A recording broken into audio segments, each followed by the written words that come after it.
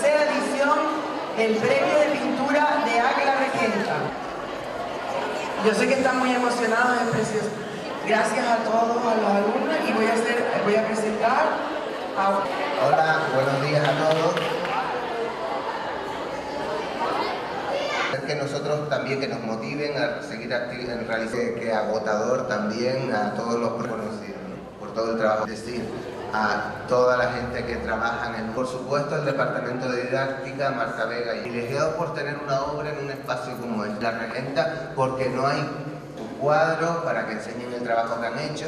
Vale un proyecto artístico pero, pero queremos darle también una visita guiada sino que tengan un mayor trabajo.